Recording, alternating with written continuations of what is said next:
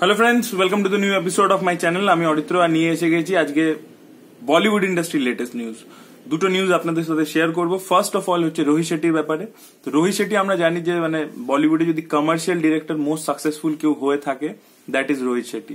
সে আজ অব্দি কোনো সিনেমা তার ফ্লপ হয়নি। হান্ড্রেড ক্রোর্সের আটটা মনে হয় সিনেমা তার আছে। যাই হোক, তো রোহিত শেট্টি ডিরেক্ট তো বহু বছর ধরেই করেন সে জমিন থেকে দু হাজার চার থেকে। কিন্তু প্রোডাকশন শুরু করেছিলেন উনি দু হাজার চোদ্দ থেকে সিংহাম রিটার্নসে আপনি যদি সিংহাম রিটার্নসে ভালো করে ক্রেডিটটা দেখেন তাতে কো প্রডিউসার রোহিত শেট্টি নিজে ছিল। এছাড়া দিলওয়ালেতেও সে প্রডিউস করেছিল। এবং টু যখন সে গোলমাল আগেন বানায়, গোলমাল আগেন থেকে সে কমপ্লিটলি নিজের একটা প্রোডাকশন হাউস খুলে দেয়, যেটার নাম হচ্ছে রোহিত শেট্টি পিকচার্স এবং সিম্বাও তার কো প্রোডাকশন মানে ধর্মা প্রোডাকশন এবং Rohit Shetty pictures co producer আপনাদেরকে বলে রাখি, রোহিত শেট্টি অ্যানাউন্স করেছিল যে আমাদের, আমার প্রোডাকশনে এরকম নয় কি খালি আমি সিনেমা বানাবো, আমি চাই যে বাইরের ডিরেক্টররা এসেও সিনেমা বানা এবং আমি যে ধরনের সিনেমা বানাই তার থেকে আলাদা সিনেমা বানা এবং আপনাদেরকে আরও একটা জিনিস বলে রাখি যে বিশ্বরূপম টু এর যে হিন্দি ভার্সনটা বেরিয়েছিল তার ডিস্ট্রিবিউশন এবং দায়িত্ব ছিল হচ্ছে রোহিত শেট্টি পিকচার্সে তো সেই কাজটা তারা করেছে। তো এবার চলে আসে হচ্ছে নতুন নিউজটাতে যে রোহিত শেট্টি প্রোডাকশনে রোহিত শেট্টি পিকচার্সে একটা নতুন সিনেমা আপকামিং আসছে, যেটা ডিরেক্টর রোহিত শেট্টি নিজে নয়।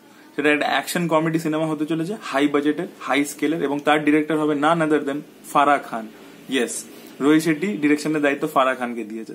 স্ক্রিপ্ট রোহিত শেট্টি পিকচার্স থেকেই আসবে, কিন্তু ডিরেক্ট করবে ফারা খান এবং আমরা জানি যে কমার্শিয়াল সিনেমা বানা কিন্তু ফারা খান কিন্তু খুব ভালো কমার্শিয়াল সিনেমা বানায়। সে আপনি মেহুনা দেখুন, ওম শান্তি ওম দেখুন, বা হ্যাপি নিউ ইয়ার তিনটেই কিন্তু বিশাল বড় বড় হিট ছিল। এবং as a commercial film mainstream popular film they are good films তো ফারা খান এই ধরনের সিনেমা ভালো ডিরেক্ট করতে পারে। তো কে হিরো কে হিরোইন এগুলো এখনও কিছু জানা যায়নি বাট রোহিত শেট্টি ফারা খানের সাথে কন্ট্রাক্ট করে নিয়েছে। তার প্রোডাকশন থেকে যে নেক্সট সিনেমাটা আসবে, সেটা ফারা খান ডিরেক্ট করবে। দ্বিতীয় নিউজ হচ্ছে এটা যে রোহিত শেট্টি পিকচার্স থেকে একটা ওয়েব সিরিজ আসতে চলেছে। ইয়েস সেটাও রোহিত শেট্টি নিজে ডিরেক্ট করবে না, সে শো রানার হিসাবে থাকবে। মানে শো রানার রোহিত শেট্টি নিজে হবে বাট ডিরেক্ট করবে যে তার ফার্স্ট অ্যাসিস্ট্যান্ট ডিরেক্টর সে ডিরেক্ট করবে এই ওয়েব সিরিজটা তো এটা ছিল ফার্স্ট নিউজ আবার রোহিত শেট্টি ফিল্ম রোহিত শেট্টি পিকচার্স এটা একটা বড় নিউজ কারণ কি রোহিত শেট্টির প্রোডাকশন মানে বড় একটা ধামাকা হবে, তো বাট মেইন স্ট্রিম কমার্শিয়াল হবে। যাই এটা ছিল একটা নিউজ দ্বিতীয় নিউজটাই চলে আসি that is about Salman Khan তো সালমান খান একটা টাইম ছিল সাউথ ইন্ডিয়ান সিনেমা থেকে প্রচুর কপি করতো। বডিগার্ড রেডি প্রচুর সিনেমা আছে, যেগুলো সাউথ থেকে জয় হো কপি কিক সব কপি করেছে। এবার এখন হয়তো একটা নতুন ট্রেন্ড এসে গেছে যেখানে সালমান খান খালি কোরিয়ান সিনেমা রিমেক করবে। তো আমরা জানি যে ভারত বলে যে সিনেমাটা আসছে, যেটা আলী আব্বাস জাফর ডিরেক্ট করছে কাটিনা ক্যাফ রয়েছে, দিশা পাটানি রয়েছে, তাবু রয়েছে, সেই সিনেমাটা ওডে টু মাই ফাদার থেকে রিমেক এবং রাইট কিনে। এবং তার প্রডিউসার হচ্ছে রিল লাইফ প্রোডাকশন মানে আতুল অগ্নিহোত্রী যে হচ্ছে সালমান খানের ব্রাদার ইন ল যাই হোক, এটা তো আপনাদের প্রত্যেকে জানা নিউজ তো আতিল অগ্নিহোত্রীর যে প্রোডাকশন রিল লাইফ প্রোডাকশন সেখান থেকে আরেকটা কোরিয়ান সিনেমার রাইট কেনা হয়েছে, যেটা দুহাজার পনেরো সালে রিলিজ করেছিল। নাম হচ্ছে ভেটারেন এবং যারা কোরিয়ান সিনেমা দেখেন, তারা এই নামটার সাথে আই এম শিওর এটা জানবেন। ভেটারেন সিনেমাটা বিশাল পপুলার ছিল কোরিয়াতে সাউথ কোরিয়াতে, আজ অব্দি fourth highest grossing film of all time Vishal popular এটা একটা অ্যাকশন কমেডি জনারের ফিল্ম এবং এটা একটা পুলিশ অফিসার এবং একটা বড় ইন্ডাস্ট্রিয়ালিস্ট বাট সে আসলে ক্রিমিনাল তাদের দুজনের মধ্যে টক্কর। সেটা নিয়ে গল্পটা। তো তার রাইট এই রিল লাইফ প্রোডাকশন কিনে নিয়েছে সেই সাউথ কোরিয়ান ফিল্মটার রাইট এবং সেই সিনেমাটা রিমেক হবে, এবং তাদের সালমান খান থাকবে।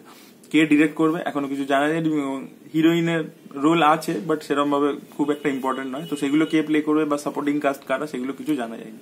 তো যাই হোক, আপনাদেরকে ভেটারান সিনেমাটার গল্প একটু বলতে চাই, কেন খুবই ইন্টারেস্টিং মানে গল্পটা একদম সাদা মাটা। অ্যাকশন কমেডি ফিল্ম আপনারা চাইলে দেখতে পারেন, আছে। আপনি ডাউনলোড করতে পেরে যাবেন। মানে কোথা থেকে সেটা আমার বলা উচিত নয়, বুঝে নিন কোথা থেকে।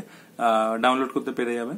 ভেটারেন সিনেমাটার গল্প এটাই ছিল যে একটা কপ যে খুব স্ট্রিক্ট খুব মানে ফিউরিয়াস মানে ক্রিমিনালদের খুব টাফ রাফ অ্যান্ড টাফ এবং তার একটা মানে সে যখন একটা হাই প্রোফাইল কেস ইনভেস্টিগেট করে, তার একটা মানে একটা লোকের অ্যাক্রসে আসে দ্যাট ইজ দিস বিজনেসম্যান যে হচ্ছে বিশাল মানে বড় একটা পাওয়ারফুল এম্পায়ার আছে তার মানে বিশাল বড় বিজনেসম্যান বিজনেস টাইকুন কিন্তু সে আসলে একটা মানে সব ক্রাইমের পিছনে মাস্টার মাইন্ড সে নিজে।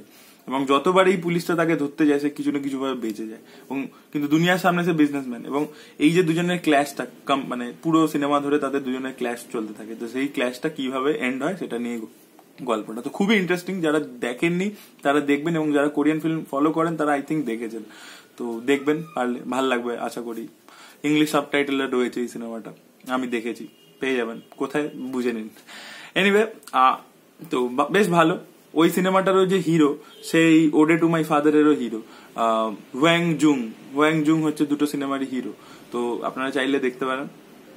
ভালো লাগবে এবং এই সিনেমাটাও খুব প্রমিসিং হবে, আশা করি।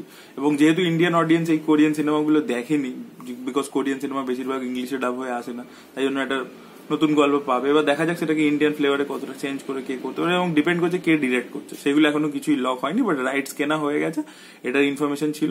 তো that was the information guys আপনাদের কেমন লাগল কমেন্ট সেকশনে লিখে জানাবেন এবং ভিডিওটা ভালো লেগে থাকলে লাইক করবেন শেয়ার করবেন চ্যানেলটিকে সাবস্ক্রাইব করতে ভুলবেন না। পাশে একটা বেল বাটন আছে, ওটাকে প্রেস করে দিলে আপনি সব রকম নোটিফিকেশন পেয়ে যাবেন। Thank you so much bye bye